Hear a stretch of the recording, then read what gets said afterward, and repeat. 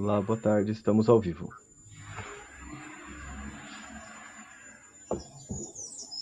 Boa tarde a todos.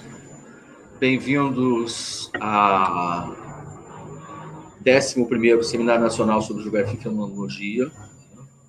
É, nessa abertura, eu quero destacar a excepcionalidade que envolveu a organização e a realização desse evento. É, não vou começar falando, não vou falar da, da Covid-19 né, e das mudanças que ela nos impôs em nossos mundos e em nossos lugares, pois cada um sabe bem né, como fomos afetados na nossa carnalidade na nossa geograficidade.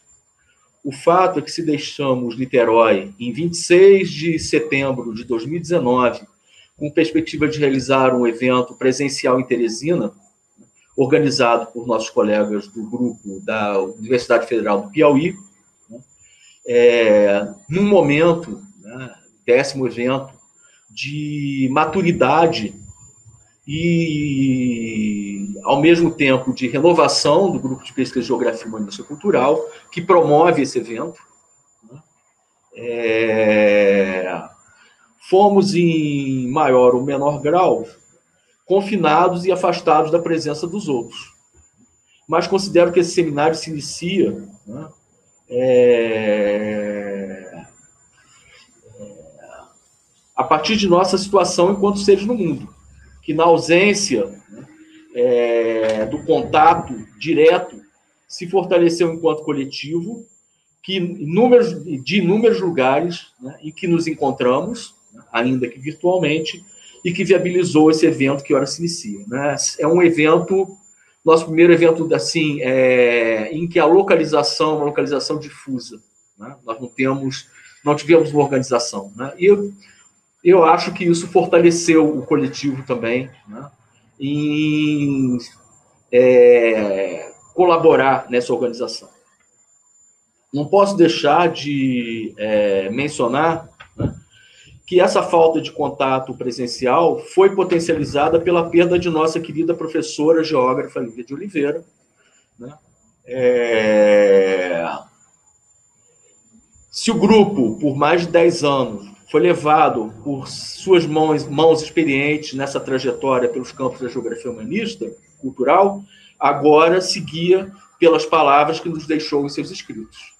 Passo a palavra para Eduardo, que vai é, encerrar essa apresentação. Bom, boa tarde. Eu quero.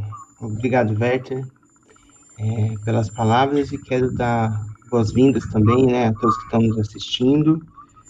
E, e agradecer o esforço, né, de, de todo o grupo aí que se engajou na organização desse evento, como o Werther destacou, um evento diferente, né, de outros.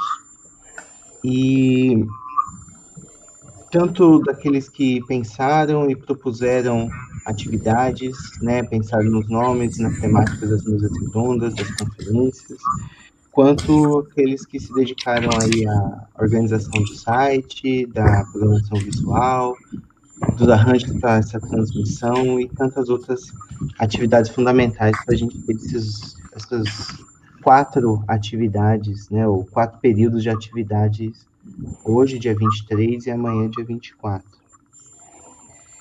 É, e sobre o Vete disse que não ia falar do, da Covid. A única coisa que eu tenho a dizer é que, mesmo depois de todos esses meses, eu me recuso a dizer que nós estamos acostumados a um evento assim, né? Não estou acostumado e não pretendo me acostumar a esse tipo de atividade, né? Já que prezamos tanto os encontros e as possibilidades da, dos diálogos para além desses momentos, né? É, esse, esse ano, mas dentro desse contexto, né, esse ano nós pensamos um evento mais focado, é, ou talvez mais enxuto, né, nós abdicamos de fazer uma chamada de trabalhos, por exemplo, e organizamos a programação em torno de duas conferências internacionais, duas mesas redondas e a nossa tradicional, já tradicional mostra de artes, né, que já temos feito há alguns anos e a cada nova edição ela se mostra mais consolidada. Né? Esse ano a Mostra de Artes ela está acontecendo também no formato virtual, no site próprio, e vai ter, inclusive, o seu lançamento logo após a conferência de abertura nessa mesma transmissão que nós estamos agora.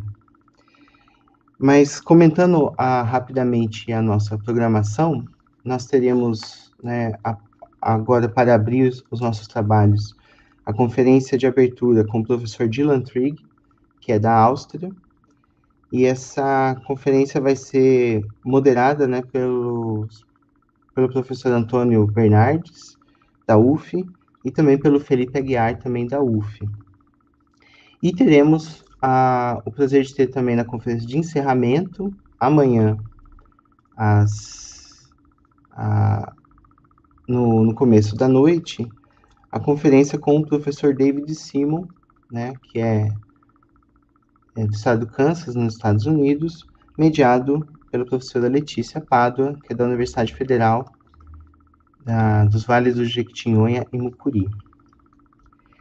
Junto com essas duas mesas, dessas duas conferências, né, com esses convidados que, que teremos, vamos organizamos também duas mesas redondas com temas é, emergentes, a gente poderia dizer, no âmbito do debate no GUM, um talvez nem tão emergente, né, mais consolidado ou mais frequente, e outro mais recente, né. A primeira mesa redonda que vai acontecer é, nessa tarde, desculpem, nessa noite, a partir das seis e meia da noite, é, tem como tema ancestralidade e colonialidade. Né? Ela vai ser moderada pelo Rafael Bastos Ferreira, né, o nosso colega Rafael, e terá como expositoras a Jamile da Silva Lima Paiaiá, da Universidade do Estado da Bahia, e a Aline Caiapó, né, que é uma das membros fundadoras do movimento Wairacunas Brasil, né, movimento que Jamile também faz parte. E a segunda mesa redonda, que vai ter lugar amanhã, às, iniciando né, às 16 horas da tarde, vai ser mediada pela Tiara Breda, que é da Universidade da Unifespa, né? E terão como expositores o professor Gustavo Silvano Batista, que é também um colega nosso do GUM, que é professor na Universidade Federal do Piauí, e a artista visual Aline Mota, né, que vão abordar o tema Geografar, Memória, Arte e Identidade. É, cada uma dessas atividades elas vão acontecer em um link diferente do YouTube, todos pelo canal do GUM, né? Então, já tem lá aberto esses links para a gente poder acompanhar. E apenas a mostra de artes vai acontecer, o lançamento, né, nesse mesmo link que nós já estamos, e a, a outra atividade especial que nós teremos, que vai ser junto com a conferência de encerramento, que vai ser a homenagem ao professor João Batista Ferreira de Mello, que é, nos deixou esse ano e era professor da UERJ, e nós faremos uma singela homenagem a ele, né, em reconhecimento à sua contribuição né, pioneira. Ele é um dos primeiros é, geógrafos no Brasil a trabalhar com a geografia humanista, né, então sempre estivemos né, de diferentes formas com ele e ele conosco, e nós consideramos né, que nesse momento de tristeza de despedida dele, nesse ano, nós devemos lhe render essa merecida homenagem. Né? É, uma atividade que foi cancelada, que estava na nossa programação, é um workshop de filosofia. Infelizmente, é, tivemos problemas para ter o que era necessário para a realização dele agora, então ele foi cancelado. Então, depois da, da abertura da mostra de artes, nós voltamos apenas né, às seis e meia para a primeira mesa redonda, tá bom? É, Bom, acho que o que eu tinha para falar é isso, a, o, as últimas coisinhas são, vai haver a, um link da lista de presença que vai ser disponibilizada pelo chat aí do YouTube, Né? Então, aqueles que, aquelas que estão inscritos, a gente pede que, que acompanhem o chat para poder fazer essa confirmação de presença. Ficamos à disposição pelo e-mail do GUM para qualquer eventualidade nesse formato né, à distância, então a gente vai estar tá acompanhando e qualquer dificuldade que aqueles que estão nos acompanhando podem nos escrever por lá, né? E é claro, vamos incentivar que possamos não só aproveitar muito esse momento, mas né, fazer questionamentos, questões que vão ser colhidas aí do chat para que a gente possa construir uma interação melhor possível nesse formato. Então, desejo, né, todos ah, um bom evento e agradeço especialmente aos nossos convidados, às nossas convidadas e todos aqueles que estão aqui nos prestigiando, assistindo, né, de suas casas, de onde é que estejam, é, esperando que a gente possa encontrar no 12º segundo, presencialmente, né, e, e é isso, muito obrigado, e agora eu vou passar a palavra para o professor Antônio, para o Felipe, o Felipe e o Antônio, que vão fazer a, a mediação da próxima atividade. Muito obrigado e boa tarde.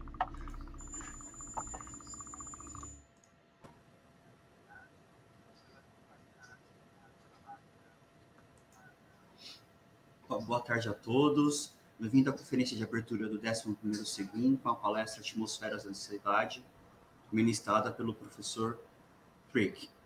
Uh, professor Dylan Trigg é pesquisador sênior do Fundo Austríaco de Ciência na Universidade de Viena, Departamento de Filosofia.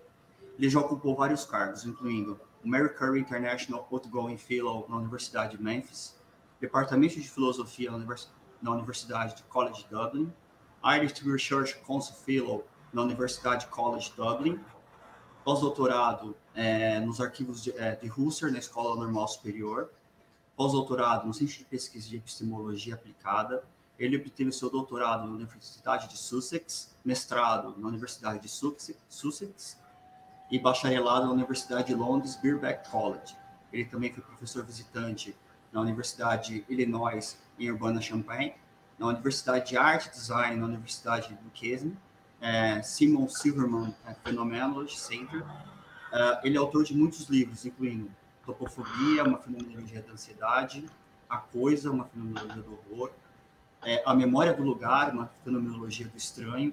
Seus interesses de pesquisa incluem fenomenologia, corporidade estética. Ele também está escrevendo um livro sobre nostalgia. Felipe Aguiar e eu temos a honra de ser anfitriões dessa palestra. Após a palestra, selecionaremos de três questões é, no chat para conversar um pouco mais é, com o professor Tree. Uh, good afternoon, everybody. This conference opens uh, the left second if the lecture Atmospheres of Anxiety, given by Professor Tree. I and Felipe Aguiar have the honor uh, to be hosting the lecture. After the lecture, we will, uh, we will select two questions in the chat so that we can talk a bit more to Professor Tree. Felipe? Professor Trigg, we are all happy and honored for having you in our seminar Thank you for that. And we wish you you have a good lecture. Thank you for coming. Well, thank you so much. And uh, just to test, you can hear me loud and clear? Yeah. yeah. Okay, great. Great. With that, I'll we'll then begin. And I'd like to thank uh, Antonio and Philip uh, for their generous invitation to speak here today and to everyone else involved in this event and uh, not least to have the honor of opening the event, which is um, really a great pleasure and also to be able to communicate and share ideas from afar. So thank you so much for that, and I look forward to the event and to uh, hearing everyone else's contribution. Well, what I want to speak to you today on is a topic that you may at this point be all too familiar with, and that is COVID 19. Nevertheless, uh, there is no getting around the issue and how it continues to shape our lives and it's this question of how it shapes our everyday experience that I'd like to reflect on in today's talk. The emergence of the disease known as COVID 19 has caused widespread death and illness, economic unrest, and global uncertainty, the impact and extent of which remains presently unknown. Families have been destroyed, jobs lost, and healthcare systems overwhelmed. And throughout this, there has also been a growth in anxiety across different populations and across different cultures. Whether it be anxiety relating to health, the economy, relationships, or a more generalized anxiety directed toward future uncertainties, there can be little doubt that COVID 19 is having and will continue to have a sharp impact on mental health. Yet, the, uh, the anxiety produced by COVID 19 is not only an affective state experienced by individuals, it is also something that is extended into the world as part of a general atmosphere. And the idea of anxiety here as a type of atmosphere is in contrast to how the emotion is commonly thought about. So, for example, where atmosphere has the connotation of an affective force that is diffused in the world, we tend to think of anxiety as an emotion uh, experienced by individuals alone. And indeed, this tendency to think of anxiety in indi individualistic terms is already evident in the history of phenomenology. So here we can consider Heidegger, most famously. For Heidegger, anxiety is the philosophical mood par excellence, which strips everyday life of its aura of familiarity and reveals the contingent foundations upon which meaning is constructed. And the result is a feeling of being ill at home in the world as the world reveals itself in its strangeness. While, uh, while Heidegger's account of anxiety has proven to be highly influential within phenomenology and within the humanities more generally, such an account nevertheless tends to prioritize a moment of self realization for an individual and an individual alone. As a result, what the account neglects is the way that anxiety is distributed through the world and embodied in other people. So, in this talk, that I, I would like to uh, propose a challenge to the Heideggerian tradition of treating anxiety as an opportunity for self transformation by thinking of it in terms of an atmosphere. The concept of atmosphere has gained a significant amount of attention in several disciplines recently or over the last 20 years, especially philosophy, human geography, and literary studies. Um, may we have the next slide, please, if you don't mind?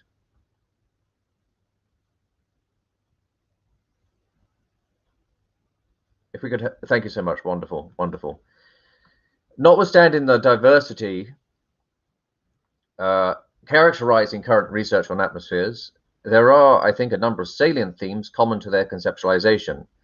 Namely, atmospheres are an affective yet indeterminate phenomena that are grasped pre-reflectively, felt corporeally, and given expression through material bodies.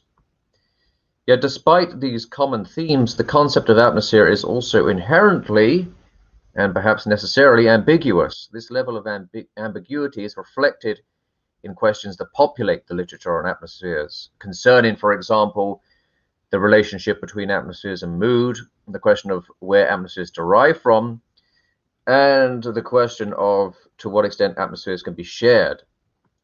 Atmospheres ambiguity is also captured in a experiential sense, as when we talk about certain rooms as having a eerie, tense, or buoyant atmosphere.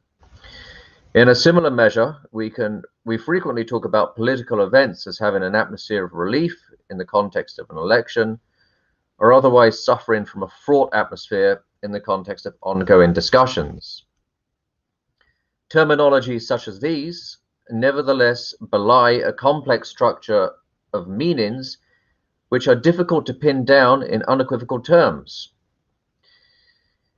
Yet far from incidental or contingent, the ambiguity peculiar to the concept of atmosphere is, I think, if I may put it paradoxically, what generates its specificity. Indeed, it is precisely because the concept of atmosphere extends beyond the remit of individual emotion, embedding itself in material structures and being enacted through uh, cultural practices that it has assumed an influence beyond that of any single discipline.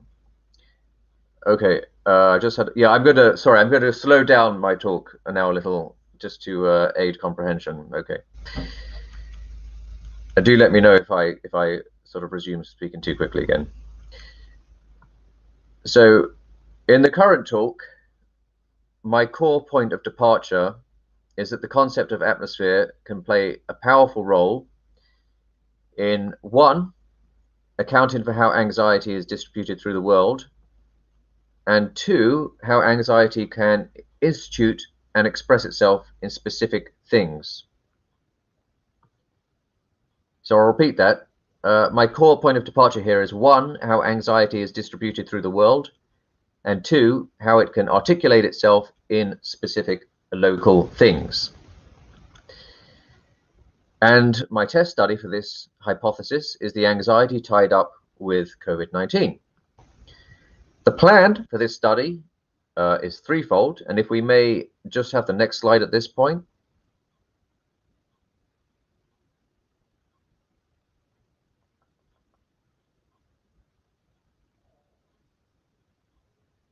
Uh, okay, on the next slide.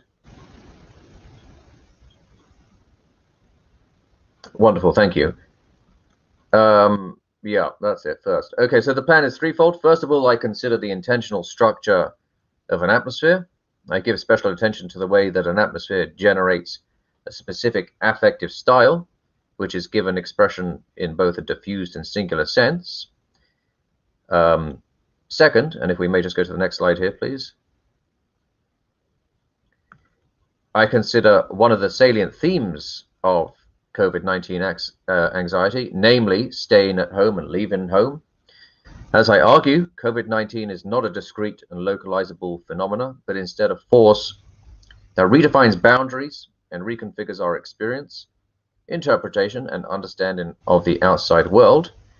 And finally, and if we can have the next slide here, please. Wonderful, thank you. I consider how the lived body is augmented in and through the lens of coronavirus, and I posit that one of the key aspects of COVID 19 is that it thematizes the body in its thing like status, which in turn issues a challenge to the idea of the body as irreducibly one's own. And then I end by consolidating the role that atmospheres play in synthesizing these elements as a whole. Okay, so with that said, we shall uh, we shall dive in. So it's worth beginning here by framing the ways that an atmosphere is diffused in an urban environment. And the question of whether such an atmosphere would be felt in a non-urban environment is a critical one, but one which lies outside of the scope of this talk. Nevertheless, given that COVID-19 as a particular kind of disease thrives upon densely populated spaces, it is evident that such spaces are more commonly found in urban environments. And my focus here on urban environments is predicated on the sense that such an environment captures the atmosphere of anxiety in several key respects. And if we may just have the next slide, please. Wonderful, thank you. The first point to note is that a city is never devoid of an atmosphere. Even an innocuous city, characterized by homogeneous and prefabricated structures, a city of interchangeable megastores, lifeless streets, and an endless parade of concrete, uh, even such a even such a city carries with it a thick atmosphere. True, the atmosphere in question may be presented in pernicious terms or negative terms as a threat to the notion of a city as having a plentiful or harmonious quality. Uh, but such a resistance simply attests to the weight, to the density of a homogeneous, homogeneous atmosphere as having its own singular quality. More often, however, when we talk about the idea, oh, sorry, when we talk about the atmosphere of a city, then we do so in terms of a tonality that permeates and gives character to a place, or what Merleau-Ponty calls a latent sense diffused through the landscape or the town that we uncover in a specific way without having to define it. So here we can consider in very concrete specific terms how we, for example, speak about the romantic atmosphere of Paris, uh, the frantic atmosphere of New York, or the imperial atmosphere of Vienna. And what these terms tend to denote is a constellation of historical, cultural, political, and aesthetic structures cohering into the same orbit. These constellations are not affective elements staged together as an image, though, of course, they can often be uh, manipulated and sort of marketed in a tourist way, but instead emerge as an affective presence which gives a city a sense of place and which we often just grasp in a pre-reflective and intuitive way. What then does it mean to speak in specific terms about COVID-19 as an atmosphere of anxiety that permeates a city or an urban environment? Uh, so as I will try to spell out in the following section, it means giving some specificity to how an atmosphere affects and shapes cultural and bodily practices, spatial configurations, and ways of being that mark our relationship to spatiality as a whole. On this first point, uh, or sorry, on this point, the first task of this talk is to pose an initial question, namely, from where does this anxiety emerge and where is it located? In asking this question, it becomes necessary, I think, to consider the intentional structure of an atmosphere of anxiety, and that's what I propose to do now. So ordinarily, at least within phenomenology, we understand intentionality as a mental act directed towards discrete objects. So, for example, uh, in classical phenomenology, intentionality refers to how our mental states are always about something. But this quality of being about something is not simply a mental or an intellectual act, it is also uh, embodied, affective, and often unconscious, as Merleau-Ponty has shown. Seen in this way, intentionality extends beyond that of a mental act and frames the way in which we engage with the world in a pre-reflective and pre-personal sense. So, for example, to experience the world as an anxious place is not to pose a certain risk with respect to our relationship to the world. Rather, it is to be attuned to the world as a site of meaning that is diffused as a general style. And I'll unpack this a little more in case it's a bit um, uh, sort of jargonistic. So to gain a sense of this with respect to the structure of an atmosphere, let's consider here again in very concrete terms, as I like to do, variations of anxieties associated with COVID 19 and its lockdown. These anxieties range from issues concerning the absence of social life to concerns over finances and to a sense of being ill at ease while outside during a lockdown.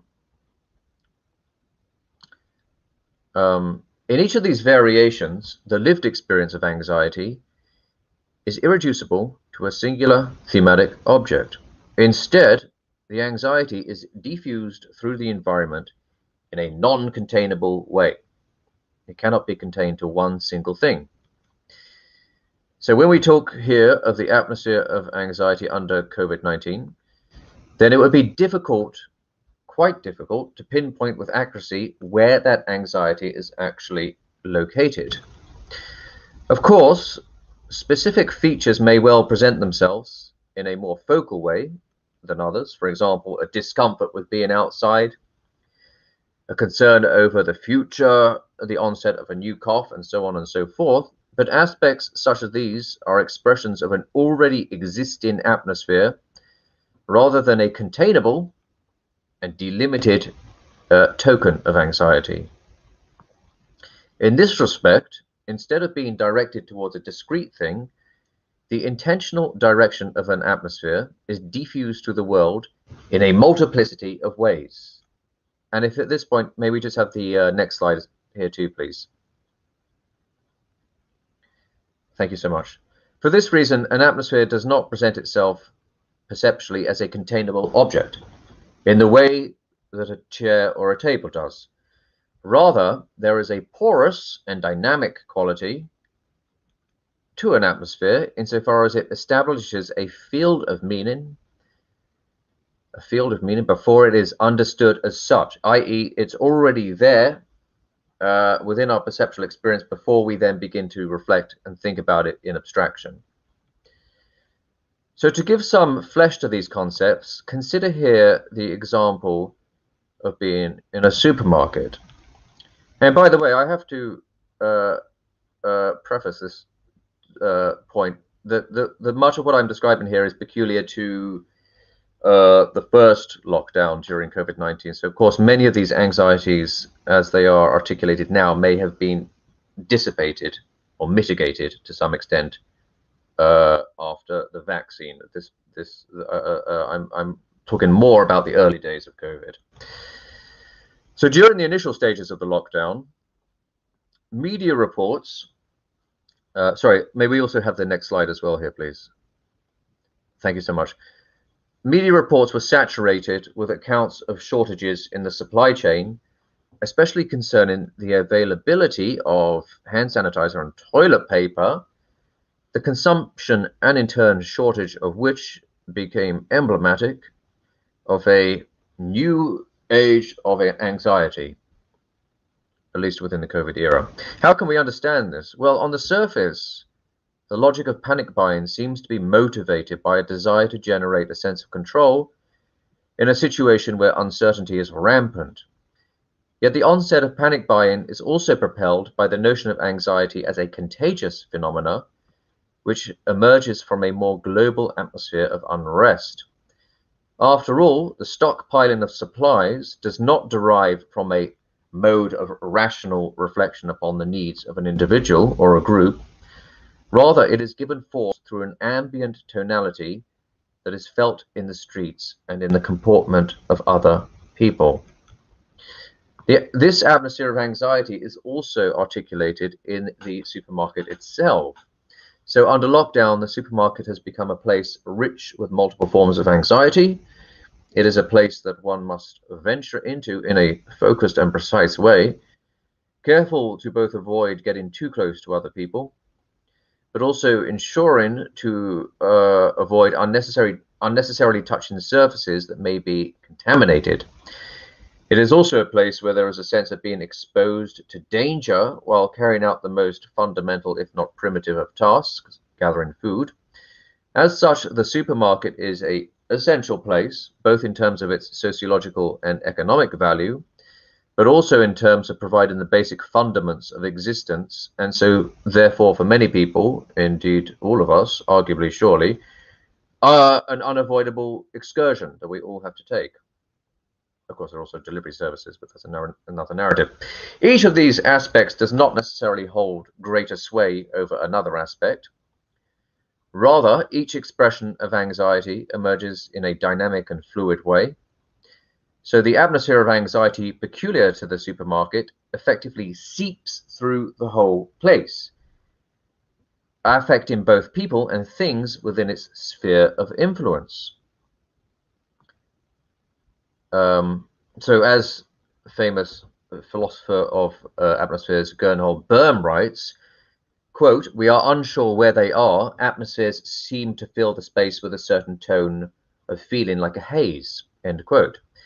As omnipre omnipresent within a given space, we find ourselves gripped by an atmosphere, affected by it, insofar as it gets under our skin. In this respect, the atmosphere of anxiety within a supermarket exacts a power over the individuals within it. And unless we have somehow cultivated a method of tuning it out or tuning ourselves out, then we remain, for better or worse, affected by the tonality at work. So, next section. From a general tonality in the air, we move on now to a specific to a series of specific articulations of COVID-19 as an atmosphere. One way this atmosphere is given dominant expression is through the injunction to stay at home. And this slogan, which was repeated throughout press, press, press briefings uh, and throughout the media more broadly, establishes a sharp delineation of the urban environment that was hitherto largely inconceivable for the majority of people. So the prospect of having to stay at home was unthinkable, not only empirically, but also in terms of how we ordinarily understand our relationship to the surrounding world. For the most part, we take for granted the idea of home not only as a discrete place in the world, but also as a mode of being in the world more generally.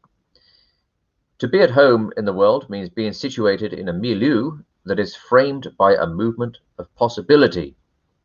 We are, in other words, at home in the world insofar as the world continues to renew itself in a dynamic and spontaneous way, revealing itself each time as a nexus of complex meanings. On an experiential level, this sense of the world as homely presents itself with an atmosphere of constancy. And if we may just have the next slide at this point, please. Uh, sorry, next slide, actually. Yes, that's it. Wonderful. Thank you. Generally speaking, the world appears to us with an air of familiarity, such that we always have a sense of where we are, even when we're lost. Over time, people and places intertwine, and we become attached to neighborhoods, cities, and entire countries until they sediment themselves as part of the fabric of our identity.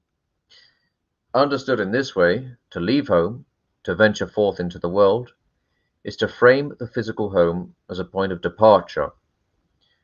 Home, understood in this way, is not limited to a physical site, but is instead formulated as a sense of being at the home, sorry, being at home within the world more generally. In this way, home uh, refer, indexes as much an environment in the world as it does a specific kind of implicit relationship we have to that environment from which our actions, emotions, and intentions emerge. Against this atmosphere of tacit confidence and taken for granted certainty, the injunction to stay at home establishes a radically different idea of the home itself. Instead of being a concept diffused through the world, the notion of home during COVID 19 is reduced, reduced to a physical dwelling where one is obliged, indeed obligated, to be. The implication is that while home uh, while possibly mitigating some of the dangers associated with COVID, nevertheless becomes a place less a place of sanctuary and more a site of constriction and tedium, which seals the dweller from the world and fragments a meaningful sense of being at home in the world. For many people, the home that is now the center of, the, of life is not quite the place it once was. As sealed from the world, home is not a porous concept that spills into the world. Rather, it is a endpoint that fragments referential meaning and engenders and produces a sense of the world as compressed. Moreover, the very phenomenology, very uh, experience of the home itself has changed. Now, home is understood as a site of potential contamination it has to be disinfected and sterilized before it can be before it can open itself up to being dwelt in once more. The result is an articulation of the home as that which is simultaneously homely and unhomely, personal and impersonal, and familiar and unfamiliar in the same measure. And of course, there's lots here to say about the home as uncanny in this respect. Notably, this onus on staying at home as a series has a series of critical consequences for our relationship to the outside. So in typical circumstances, the boundary between inside and outside is porous. We move from the home with an implicit trust that the outside is neither an, an affront to our existence nor in sharp contrast to it. In this respect, distance and movement are understood not as abstract grids of reference that are mapped out in advance. Rather, they are textures and contours of a living and lived spatiality which are grasped in an affective sense. Here, the already familiar world is presented through an unfamiliar lens. Sorry, excuse me. Uh, during the initial phases of lockdown, the, un, the already familiar world is presented through an unfamiliar lens where movement becomes tentative and framed at all times by a gesture of constriction. Moving from one place to another so for example, from the home to the supermarket, becomes less a mindless activity uh, carried out as part of the fabric of everyday life, and more a series of movements which demand that we have to restructure our relationship to the world. In effect, spatiality as a constant flow of emergent properties has become dissect has become a dissected cluster of habitable and uninhabitable zones.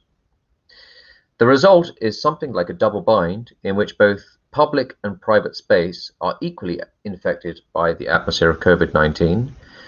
As one individual says in an interview with Time magazine, quote, I'm concerned about going into public, but now I'm also concerned about how long I can last without going out, which I think is a very nice way to put it. Okay, let's moving on to the next section here, and if we can just have the next slide, please. Great. Uh, uh, uh, do beg your pardon. Uh, yeah, sorry, that's fine. Alongside this unnatural and disturbed relationship to the outside, the materiality of the world also assumes a strange tonality. The world, as it is commonly understood and experienced, is suddenly suspended and it is true on the surface, it, it, it appears as though nothing significant has changed. Buildings remain intact, people can see can be seen uh, casually milling about, and some shops are even open for business. The world has not collapsed, and the end, if it is conceivable in this respect, has also not arrived. Yet, in the midst of this apparent normality, a deadly pandemic has taken hold, which creates a series of subtle shifts in our everyday experience. While still available to us, the outside world is nevertheless experienced through a hyper-sensitized lens in which tactility plays uh, as much a role as, sorry, as dominant role as vision does. Consider here how surfaces that were once invisible and innocuous have now become charged with a sense of being sites of disease. Everyday objects such as phones, doorknobs, elevator buttons, etc., are also altered from familiar tokens of everydayness residing in the background to objects charged with an aura of danger. In no uncertain terms, COVID 19 has issued a stark challenge to the idea of human experience as being structured and centered by vision as the dominant sense. In place of this notion, it is touch that has now become our primary mode of being in the world. So the injunction, for example, to avoid touching one, one's own face and surfaces more generally, reinstates the porous interplay between ourselves and the world. We are not discrete subjects gazing upon an otherwise uh, blank world. Rather, to put it in Merleau-Pontian terms, just as the world, just as we touch the world with our sensing organs, so the world touches us back. Only now, the world that is reversing our touch is a world marked by disease. As such, our relationship to the world is one that has to be kept at arm's length. Instead of greeting people with our entire bodies, we have had to contrive novel ways to interact with people without spreading the disease. And instead of freely touching the world around us, we have we have to exercise caution about which surfaces it is necessary to engage with in order to perform basic functions. As fundamentally altered, therefore, the world and its material things protrudes into our experience and becomes thematized as a certain kind of strangeness. True to the nature of an atmosphere, this permeation of anxiety is not localized to the lockdown itself, but is instead poured out into life after lockdown, which I think uh, is certainly a problem that many of us are facing now in this sort of strange period, limbo period, uh, somehow after COVID, when COVID is not quite fully over. So, for example, Lily Brown, the director of the Center for the Treatment and Study of Anxiety at the University of Pennsylvania, remarks as follows I quote, Some people are anxious because they have a lurking fear of catching or spreading COVID, while others have fallen out of practice socializing and are finding it difficult to resume. which I think is a very good point. End quote. So we see that the hazy quality of, a, of an atmosphere, which again populates the literature, is at once not only spatial, it's also temporal. Atmospheres do not reach a neat endpoint in tandem with a sequence of dates, i.e., being vaccinated or i.e., uh, when lockdown is uh, lifted. Rather, the anxiety spills into the present like trails from the past. Consider here how atmospheres can often linger uh, under our skin after we have left a place or a situation from where that atmosphere derived. Um, this is evident as much on a subjective and personal scale as it is on a cultural and political level, as when we talk about the atmosphere of one decade seeping into the beginning of the following decade. Likewise, the, the anxiety associated with COVID marks a lurking fear that continues to affect our behavior, thought, and actions in a number of ways. As Lily Brown remarked above, this fear is captured as an epistemic gap in our knowledge of the world and as a set of bodily practices that have been attuned to a climate of tension and which require a certain amount of retraining in order for us to adjust to life after lockdown. Uh, the results of these dynamics is that dwelling in the world has been in a way put out of joint. Uh, and if we may just have the next slide here, please. Great, thank you so much.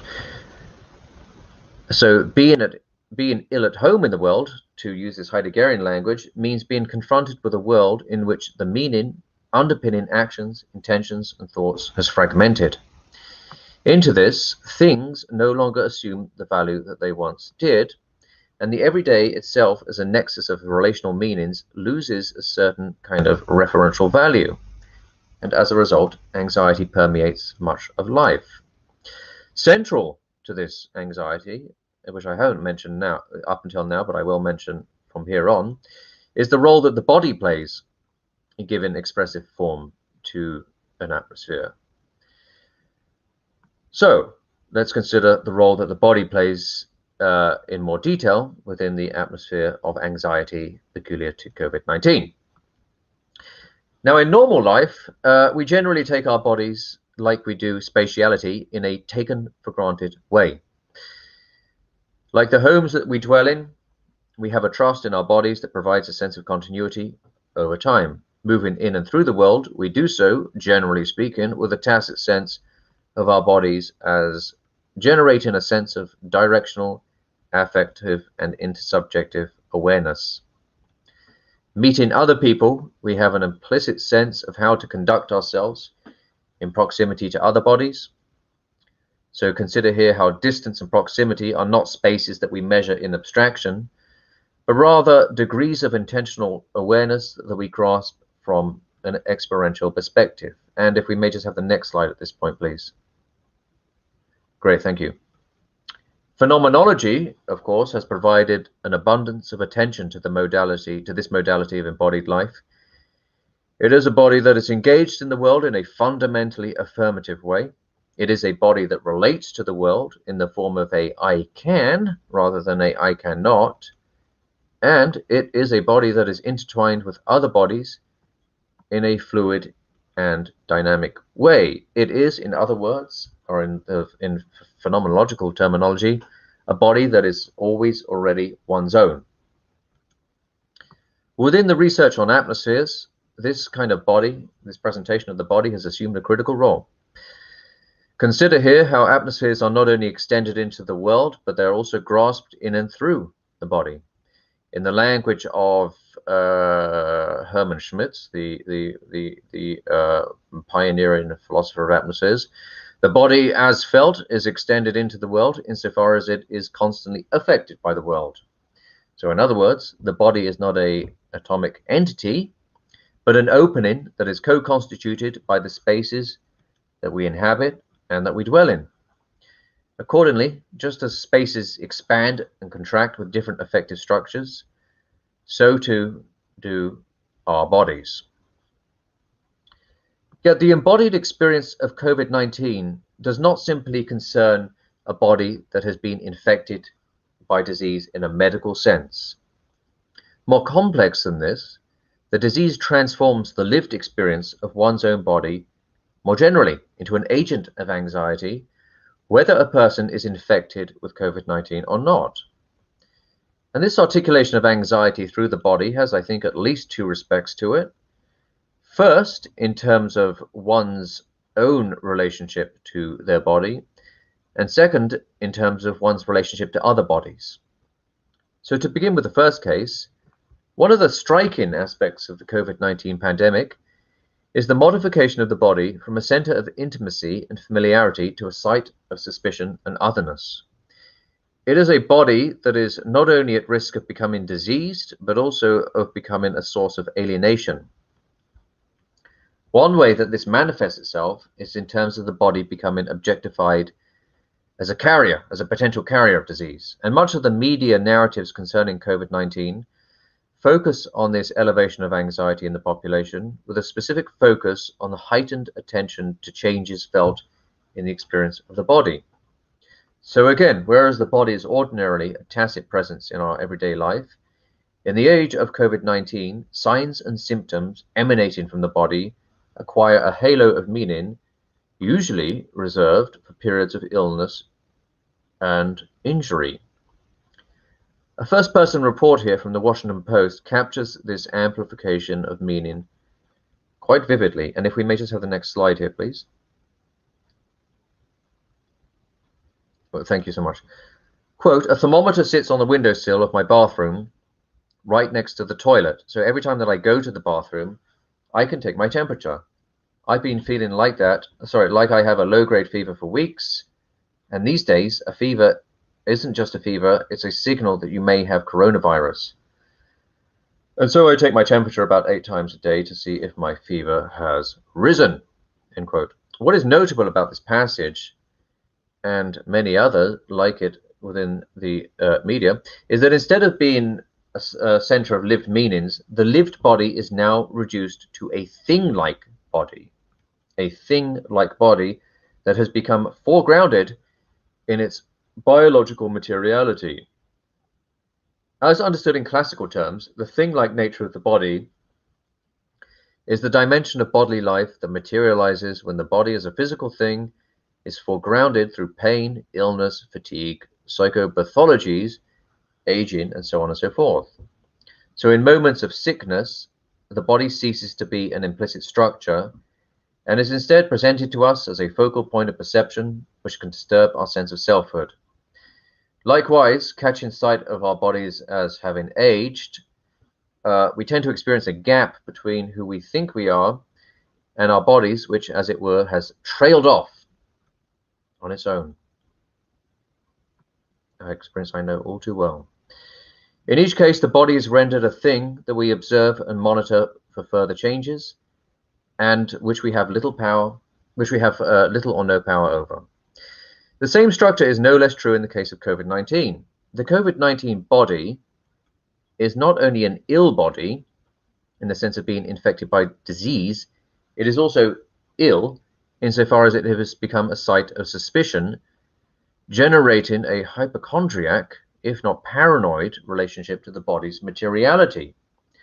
As Kevin Aho, the American phenomenologist, writes, in his incisive essay on the uncanniness of coronavirus, uh, quote here, my hands have become eerily conspicuous like strange objects that I am only contingently connected to.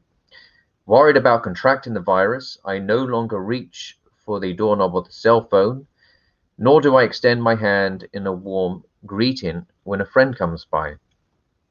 End quote.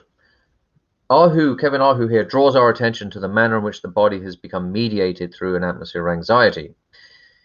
It is not that the hand as a discrete organ has become an object of anxiety in and of itself. Rather, the hand gives expression to an anxiety that has already been instituted by the onset of COVID 19. In correspondence, sensations which previously had a contextual meaning with in relationship to the everyday, i.e., headaches, tiredness, fatigue, and so on and so forth, all now point towards a singular horizon, namely COVID 19. At the heart of this logic is the uncertainty of what is at stake in each of the body's processes, responses, and symptoms. The body that is presented to us in the face of COVID 19 is, in large, an unknown and unknowable body. It is a body that is ambiguous, not only in terms of being both a thing and a center of perception, but also in terms of being uh, both mine and not mine simultaneously. But it's not only our own bodies that undergo a shift in their affective structure, but also, of course, our relationship to other bodies. Usually, uh, our communication with others is orchestrated on a pre-reflective level, thanks to the kinship that we have of one body to another. Again, to put it in Merleau-Pontian terms, bodies grasp each other thanks to the fact that there is a primordial liaison between oneself and another. So, for example, without having to think about it in abstraction, on an experiential level, we grasp moods, modes of conduct, and affective and emotional states in an intuitive way. Uh, if we could just have the next slide, please. Lovely, thank you. As a sensing organ, my body puts me in contact with other bodies, not as a recipient of static data, but as a network of constantly unfolding dynamic and expressive meanings. What this means is that, notwithstanding the spe specificity of cultural and affective differences, for the most part, affective, sorry, excuse me, for the most part, social life is regulated by a pre-reflective fluidity that operates on a latent rather than reflective level. And such a dynamic is predicated on the idea of the body as an expressive system. Now, one of the salient aspects of COVID-19 is that it issues a challenge to this phenomenological idea of intercorporeality, this idea of bodies as being intertwined in a pre-reflective way. And this is evident, I think, in at least two key respects. First, as expressive and bodily beings, we are, whether we like it or not, uh, always in touch with other bodies. Again, this is especially true from a Merleau-Pontian perspective. As he sees it, one's own body is not a discrete mass of materiality surveying the world from afar. Rather, it is part of a system which is interwoven in the fabric of other bodies, irrespective of our own idiosyncrasies and preferences. So, in other words, you can't really get away from other people, and even if you flee, then this itself is a verification of the other's presence. Already having a body means being in touch with other bodies, each of whom belongs to the same ontological order of life. This is true as much on a structural level as it is on a sensual level. So just as touch involves a reversible movement between ourselves and the world, so the same is true of other of other intercorporeal aspects of life. And here we can consider the example of breathing. As bodily beings, breathing is not a private practice sealed off from a neutral world. It is a porous, indeed you might say emblematically atmospheric exchange that reinstates that we are as much in the world as the world is in us. Breathing brings to light, in quite a literal way, our inheritance with others and our liaison and commitment to a shared space.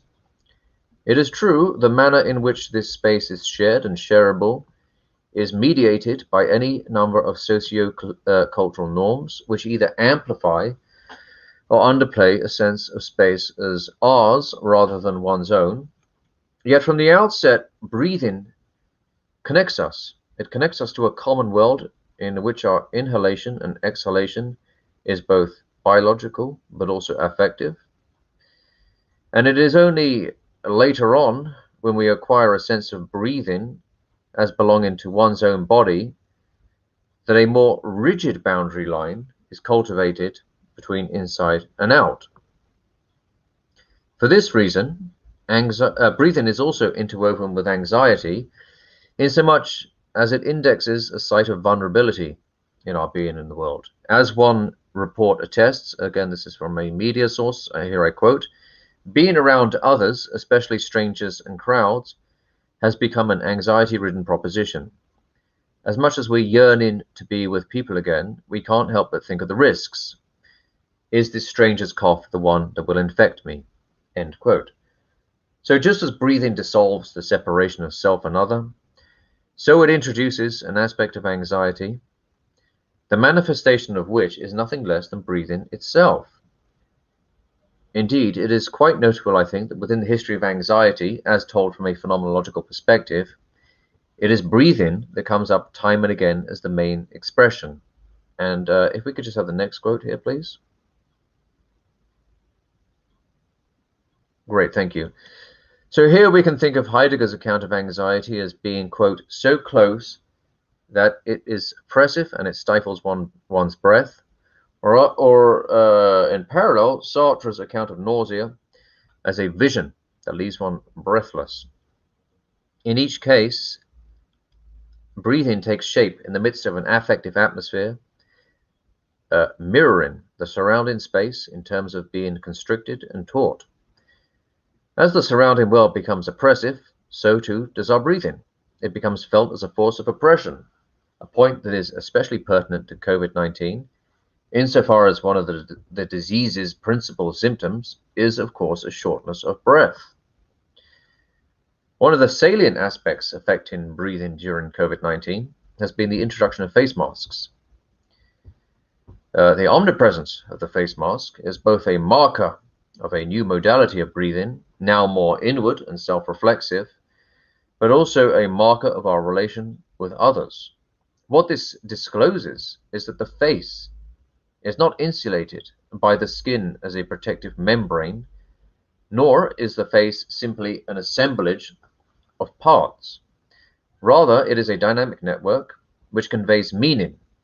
Likewise, a mouth is not just a sector of the body employed for consumption and breathing, it is also a space in and through which intersubjective life is given affective expression. As Merleau-Ponty writes, I perceive the other's grief or anger in his behavior, on his face and in his hands, without any borrowing from an inner experience of suffering.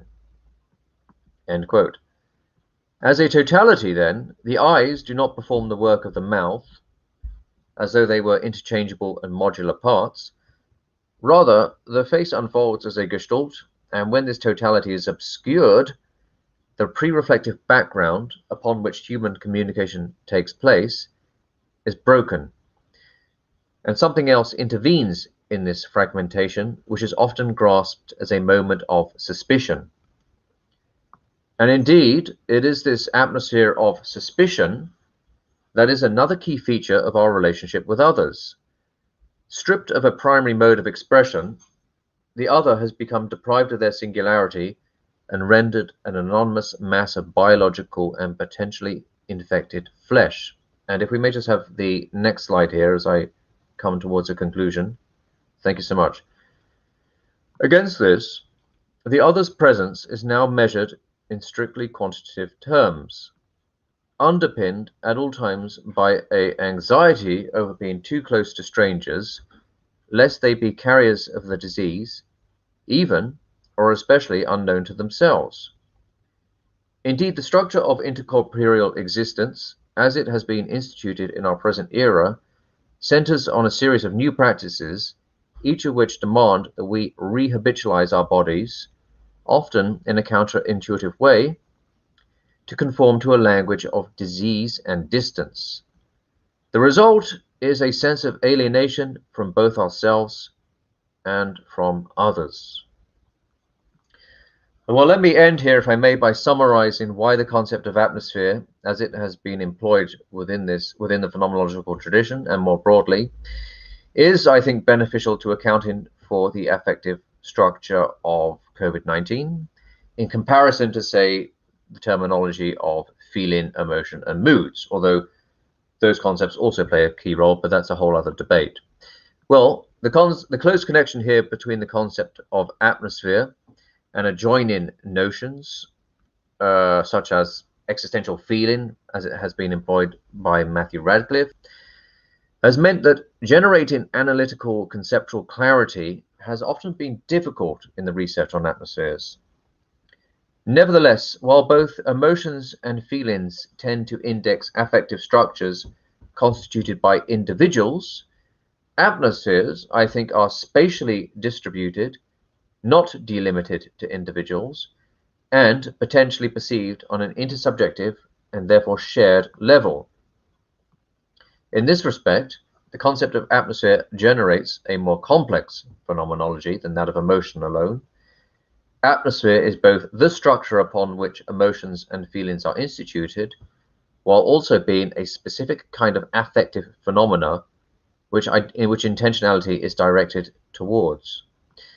Now, this double-sided aspect of atmosphere has been evident, I hope, in this talk in several respects, and I'll just outline those now as I come towards the end. So if we just may have the next slide, please.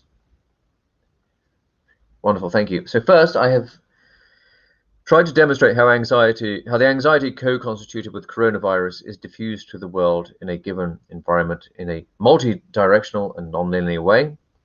And what this means is that instead of being directed towards a discrete thing, uh, as an atmospheric force, COVID-19 is distributed through the world on a latent or operative or pre-reflective level, but also as a thematic and reflective horizon. And as much as we talk and reflect about COVID-19 as a particular kind of disease to be treated and managed, so it already forms a meaningful context from which thoughts and actions emerge. Such is the specific structure of an atmosphere.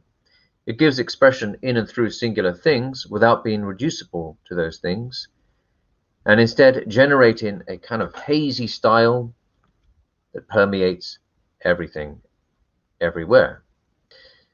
Uh, if we may have the next slide, please. Thank you. And yet, as I've also tried to show, an atmosphere has certain privileged modes of expression, not least home and the body. So where the home is concerned, there is a transformation from a physical home as a, as a sanctuary to a site of restriction, while the surrounding world now appears thematically present as an uncanny terrain, which is marked by danger and risk. Uh, excuse me. The same is uh, no less true of the human body. The body of COVID-19 is not simply an ill body, ravaged by disease. It is also an anxious body, a suspicious body, a distanced body, and a concealed body. In a word, the body has become a site of disruption insofar as it indexes a disorder in our normative understanding of the world. And if we may just have the final slide, please. Thank you. In sum, the concept of atmosphere can play a critical role as part of a phenomenological toolkit, uh, if you want to use that phrase, in accounting for how complex affective structures are distributed in and through an environment and through multiple subjectivities. As a confluence of subjectivity, materiality, and affect, an atmosphere resists being categorically defined in an analytical way. For that matter, the concept of atmosphere also resists being delimited and reduced to human emotion alone. An atmosphere of anxiety, as it has been dealt, uh, dealt with, I hope, in this talk, is as much embedded in spatial configurations, in places and in buildings, as it is in the crowds and individuals who populate those buildings. And in this respect, by focusing on the materialization of emotion, atmospheres, I hope, offer a potentially vital counterpoint to theories of emotion that privilege interior and individual existence. And on that note, it just remains for me to thank you again. Uh, thank you.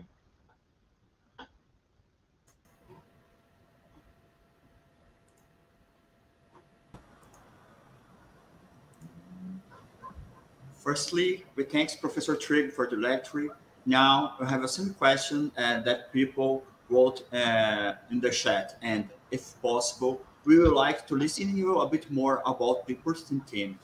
Uh, Felipe, please. Uh, first of all, Professor, I need to thank you for your lecture. I would like to tell you that during the, the lecture, we had around 100 people for, uh, watching us on YouTube and some comments. And now I will read some questions we, we took from the chat. And it would be good uh, if you if you could answer uh, in in parts to facilitate the translation. Antonio sure. and I will will make. Okay. No problem. The first question we have, Professor, is since place is not only a physical or material ground, but is most of our relationship and people's meaning, is it possible to say anxiety atmospheres are potentially also placelessness processes? Thank you. That's a very nice question. That's a very nice question. Um, well, in its okay, I'll, I'll, just go slowly. Um, I think there are there are a number of ways to respond to this. Um, one of the what I mean, I'm very I'm very interested in the mention here of placelessness, and uh, of course, within the uh, human uh, within phenomenological geography, of course, this has a very rich um, uh, significance uh, within the context of uh, Edward Relph's work, and of course David Seamon, who, who, you have speaking tomorrow. And within that context, um, I think, so, you know, one one could argue uh, if you're if you're going to speak about an atmosphere of anxiety against phenomenological or within the context of phenomenological geography, then a lot of um, places or uh, non or placelessness, placeless places um, have often been presented in pernicious negative terms as cultivating and generating um, uh, affective disquiet or let's or even anxiety. Um, and you know one of one of the uh, topics that I'm sort of quite passionate about is um, rallying against that because I I I I don't like this idea of delineating um, certain places in advance as having certain affective attributes. So this is why I'm very interested in the idea of home, you know, which we is is within the phenomenological tradition and within the tradition of phenomenological geography. Um, you know, is is often presented as the emblematic expression of place, sense of place. And of course, you know, one with a, a tremendously rich illustration of that is the beautiful work of Bachelard, you know. And that kind of tradition also extends at least into the sort of this, the people after Bachelard, who, um, you know, in the 60s, 70s, 80s, uh, and so on and so forth. Um, so, so, so in that context, I think there is something to be said there, certainly for the way in which certain affective states are, are uh, uh, frequently ascribed as having value within certain places. But just and just finally, um, can we think about anxiety? I mean, and also I would say, uh, uh, uh just to conclude, um, yeah, I mean, it's interesting. Anxiety does articulate itself in specific places. You know, of course, one way in which that's apparent is uh, in phobic relationships, and I've also done a lot of work on that on various forms of spatial phobia.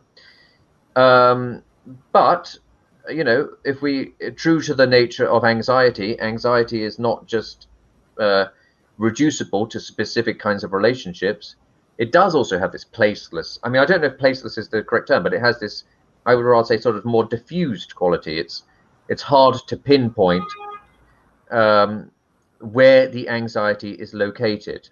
So uh, so certainly, I think that kind of terminology is is is definitely very helpful in thinking through these kinds of issues. So I thank you. I thank the uh, the uh, respondent there for, for for the question. Thank you.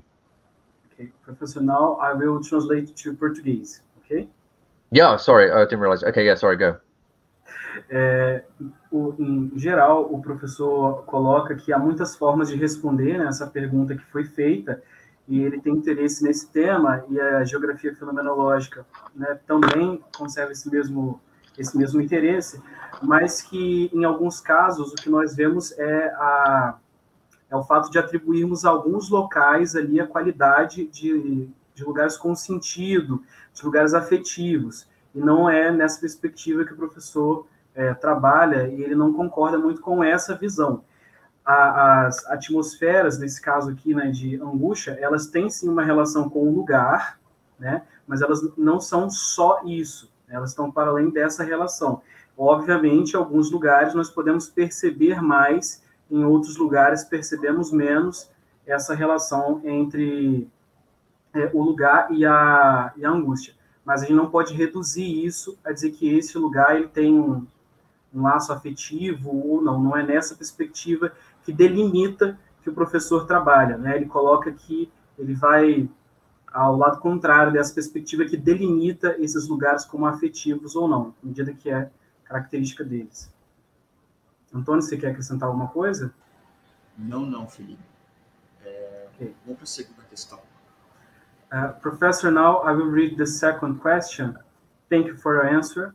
Uh, how placelessness is understood for you in this context? Sorry, in what context? In the context of COVID nineteen, or? Yeah, yeah. Um.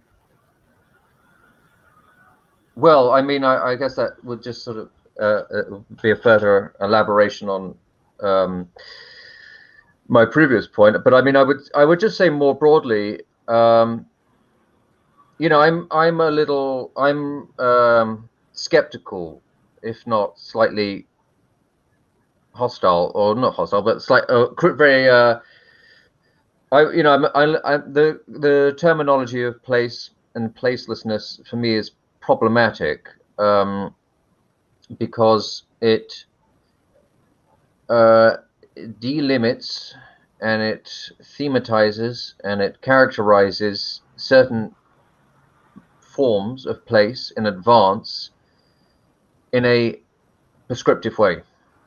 Um, and I find that problematic because it precludes, it arguably precludes certain types of relationships that we can have with places that are given a negative evaluation within um, this literature and within this framework. So, you know, very, um, again, this is sort of something I've uh, been concerned with for, for a very ridiculously long time, really, about you know the places that are usually characterized in these terms, um, airports, shopping malls, you know, homogenous places, you know, sort of identikit streets, and you know, places that are framed as being um, exemplary manifestations of this kind of anodyne modernity. Um, uh, uh, uh, you know, it, for me, um, it's not enough. It's that's it's not enough to grasp the significance and the complexity of a place by dividing it bet between various divisions, whether it be place and placelessness, place and non-place, and there's a lot of variations, and of course they have subtle differences therein. But I mean, for example, you know, the relationship that we have with places transforms, and it transforms in and through different affective states. And you know, one of the, just to one of the things that I'm working on now is nostalgia, and um, many of the places and many of the things that were um, let's say, originally thought of as being disposable and interchangeable and forgettable um, in their original incarnation, in their original existence, especially shopping malls, which I'm very concerned about or very interested in, undergo a process of transformation. And they have a rebirth of meaning um, through different affective through different cultural, through different sociological, through different aesthetic states. So I find I find uh, describing or characterizing certain places in advance um, in this prescriptive way problematic, very problematic. So I, I'm suspicious of it. Nice, professor. Thank you for answering. É, então, o professor coloca que ele tem uma, uma questão é, em relação à terminologia, né, que foi parte da pergunta, placelessness, e aí ele apresenta é, por que ele tem certa, certo receio dessa terminologia, né, que é uma terminologia que vai buscar delimitar né, lugares como placelessness ou outro, outro termo, e aí ele apresenta que há uma complexidade muito grande né, para delimitarmos esses lugares dessas duas formas em específico.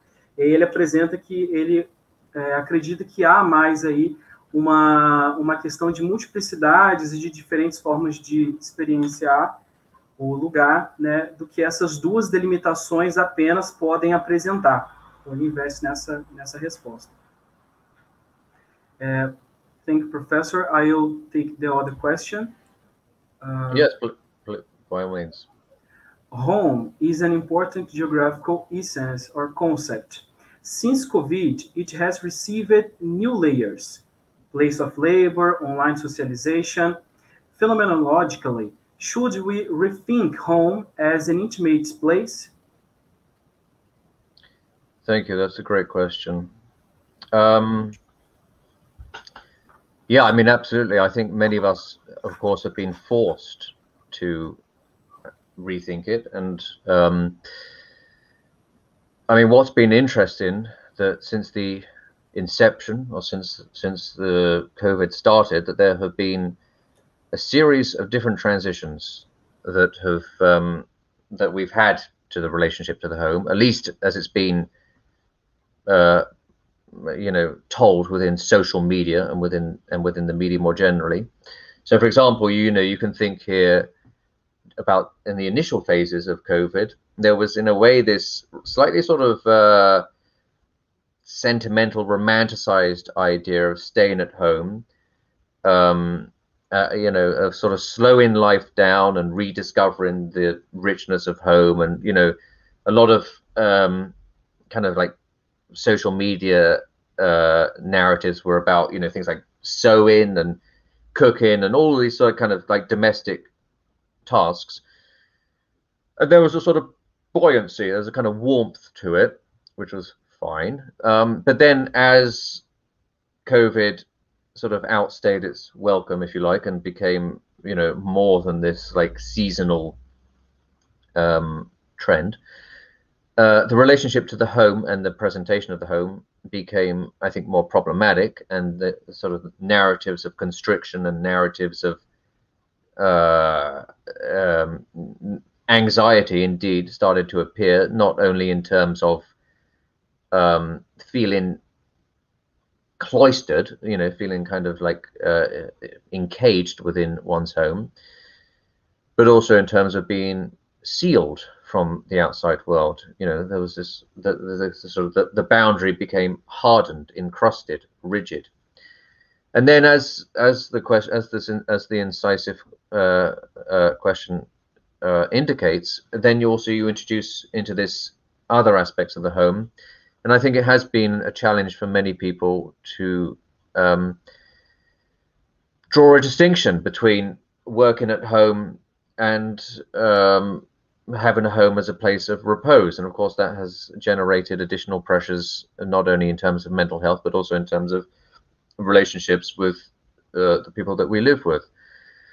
Um, phenomenologically, uh, this is a very the final point of this question is very interesting. Um, should we rethink home as an intimate place? Yes, I think we should. I mean, well, I think one of the um, deficiencies in phenomenology and in within human geography is to prioritize and is to um, thematize this idea of home as a harmonious, uh, felicitous place, to put it in terms of Gaston Bachelard.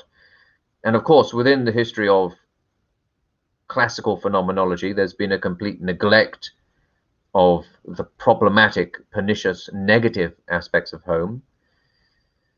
Um, not only in terms of uh, affective disorders, but also in terms of relationship disorders, abusive relationships, and things like this.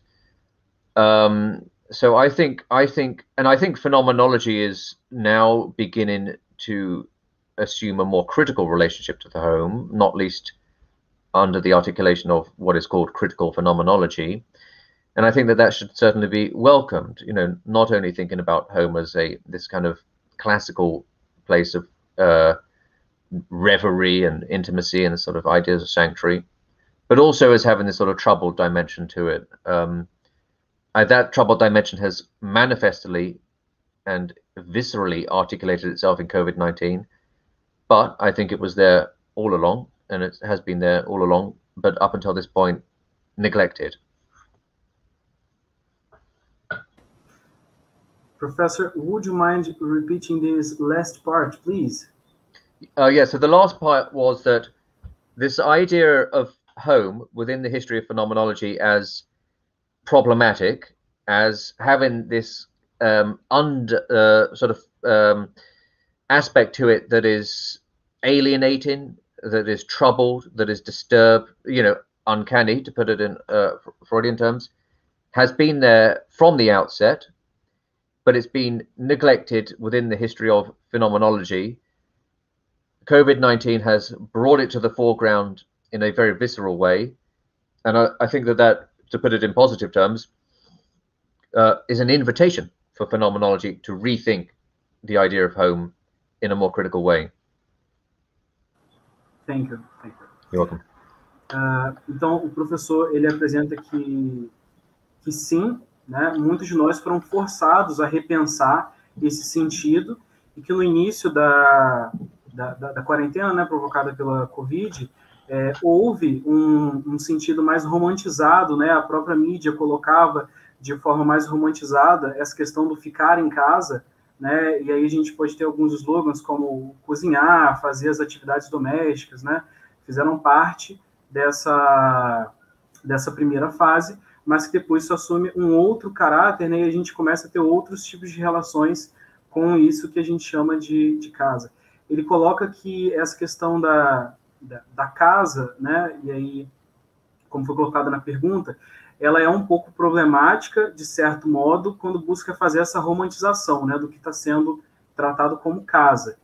Mas que, sem dúvida alguma, nesse momento, os limites se tornaram mais, mais rígidos, né? Essa própria noção de casa, do estar em casa, estar fora de casa. Então, houve uma transformação no sentido disso, que fez com que esses limites se tornassem mais rígidos. É o professor também apresenta que muitas pessoas têm a dificuldade de fazer a diferenciação entre trabalhar e trabalhar em casa, né? Que é uma questão que tem sido muito, muito discutida.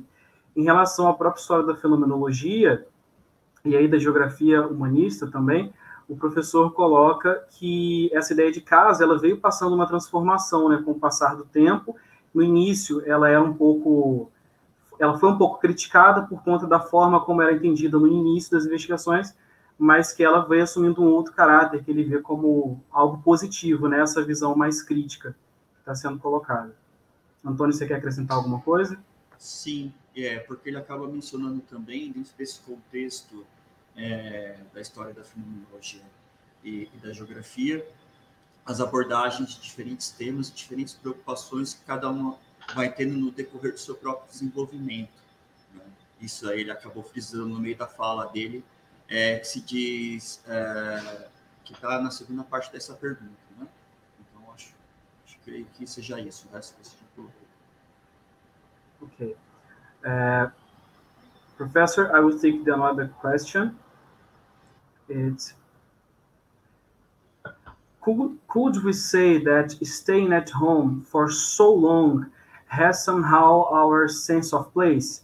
Could it be that our body sensibilities have become ill?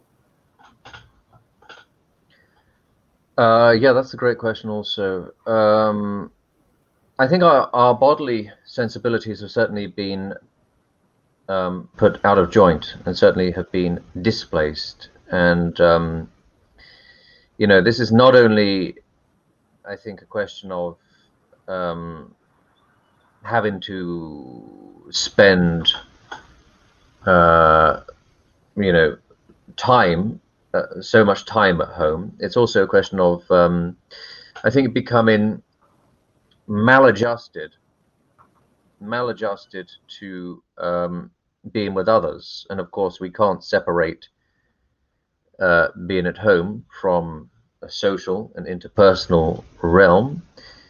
And I think there is, um, you know, certainly something to be said for the necessity of um, a kind of acclimatization period that will, will, and I think is necessary to um, to to feel kind of comfortable again. And I don't know if I I don't know if ill is the right word, but certainly um, certainly yeah maladjusted and certainly and certainly displaced. Let's say. I mean. Um, you know, I just came uh, to the UK yesterday as my first travel since COVID, uh, so in almost two years. And um, certainly, if I may speak anecdotally, there's a lot of anxiety, not only in terms of the usual anxiety that can often accompany travel or flight, um, but also um, acclimatizing to not only the density of people, but also different cultural practices uh, and how the how different cultural practices um, respond to COVID and how they respond to the measures that are taken. The UK has a very different policy, or, or uh, in terms of things like face masks and in terms of social distancing, than Vienna does, which is where I, where I spend much of my time. Um, so there's all kinds of, you know, I mean, of course, travel br- again brings these kind of things to light, but certainly with COVID, um, I think it uh, it uh, it encouraged it it you know illness is an interesting word because as I say, different cultures have different ways of practicing, and from one from one culture to the other, it can appear as though certain modes of behavior and certain modes of comportment are um, misjudged, you know, let's say. So um, I think there's a whole host of, of, of acclimatizations that are going on here that are definitely exerting stress upon individuals and upon groups. Yeah. Uh, professor, uh, what do you mean when you say maladjusted? Uh, so just a feeling of discomfort, a feeling of being out of place. You can say a feeling of being out of place within one's body, and also a feeling of being um, uncomfortable in the company of other people, especially when there's a you know large density of people in a in a compressed space, not such as an aeroplane. Um, you know, so feeling uncomfortable with that and how different populations and how different cultures deal with things like face masks, which is, of course, face masks have become politically and sociologically like kind of very a divisive, um, a, a divisive thing, a divisive issue. Thank you.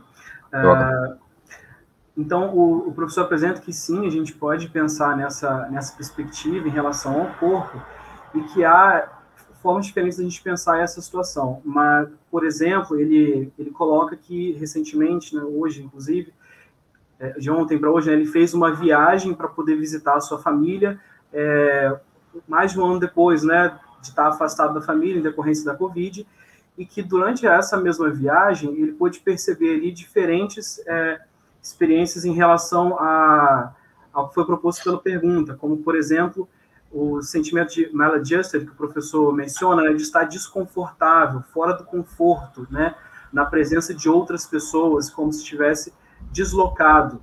E essa questão, é, muitas vezes, é, aparece não só na companhia de muitas pessoas, às vezes não na companhia de muitas pessoas, mas ele consegue perceber pelas próprias práticas culturais, né, as diferentes práticas culturais que correspondem a esse tempo da Covid, né? Então, esse ele responde diretamente a pergunta como essa expressão de um sentimento de estar desajustado em relação ao que tem acontecido, né?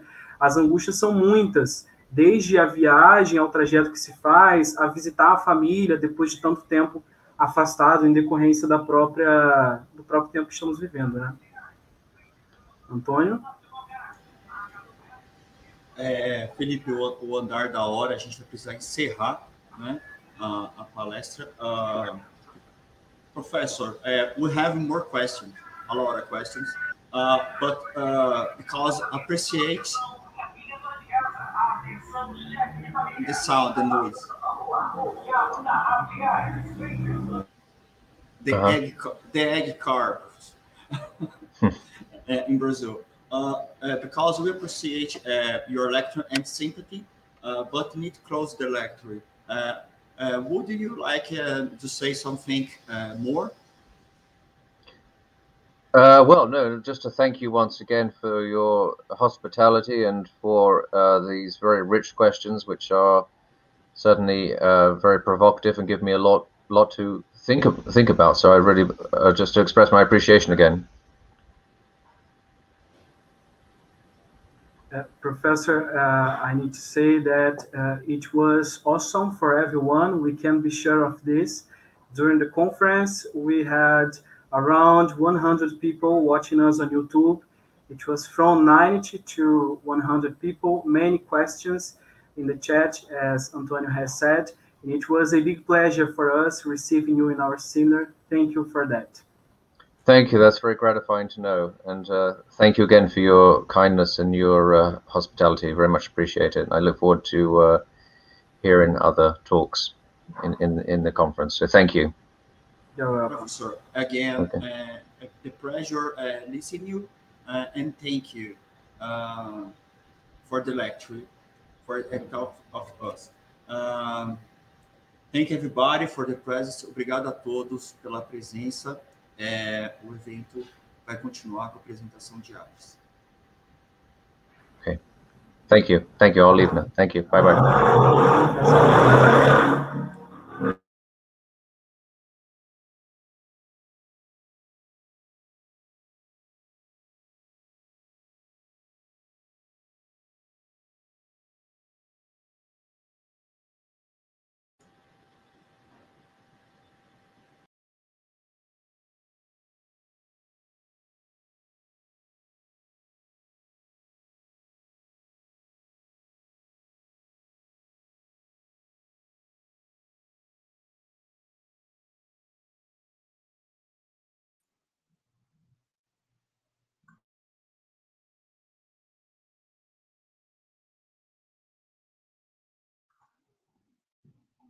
Boa tarde. No relevo dos afetos, a geografia humanista cultural é esse lugar sem fronteiras no entrecruzamento das humanidades. Na abertura a seu fora, ou seja, aquilo que não é geografia, mas que a atravessa e a constitui, a geografia com arte e a geografia da arte busca o que a arte nos dá a pensar a geografia ou mesmo que é pela arte que se pode dizer geografia. Todavia, a mostra de arte não é uma ilustração desses movimentos. Trata-se de lançar-se para fora em um devir artista de cada um, um devir geográfico da arte. Quando um tornar-se artista é necessário para expressar o mundo que nós somos. A galeria está no ar até o dia 22 de outubro. O link está na descrição do vídeo. Entrem com vagar, atentem aos caminhos virtuais que conduzem a cada exposição. Observem as instruções técnicas, não sensíveis, para apreciar cada obra. Elizabeth Reis, Stephanie Maldonado, Valéria Amorim e eu, Ivo Venerotti, enquanto curadores, queremos dar as boas-vindas à Mostra de Arte do 11º Seminário Nacional sobre Geografia e Fenomenologia.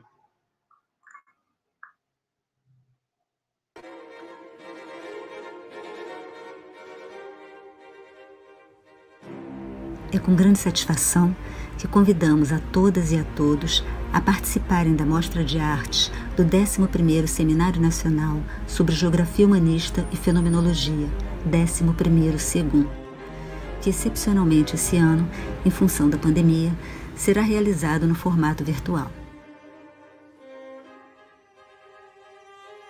A Mostra de Arte do Segum está em sua quarta edição e, assim como em suas versões anteriores, se propõe a ser um lugar onde a arte seja a principal forma de expressão de nossa relação com o mundo, nossa geograficidade, seja através das poéticas visuais, poéticas cênicas, poéticas musicais, poéticas literárias ou poéticas transmídias. Em função do tempo reduzido e dos desafios impostos pelo ambiente virtual, essa mostra, exibida no formato de uma galeria expandida, recebeu propostas apenas dos membros da Rede GUM, ou seja, do GUM e dos seus grupos associados. Sintam-se todos convidados, apreciem, que seja mais um momento fértil, criativo e de ampliação das nossas próprias maneiras de ver e perceber o mundo. Bem-vindos!